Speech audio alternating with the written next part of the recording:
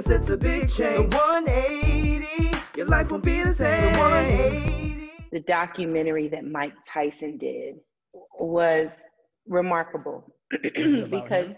it was about him, but Uh-huh. his um his humility Hmm.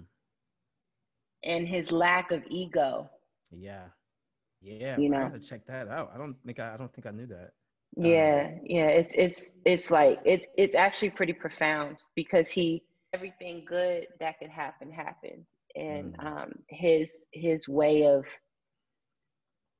pulling it all together to make sense and to be okay with saying where he was at those times in his life that were that were very public. Most people get to go through their shit privately Yeah. you know, and he went through his shit publicly.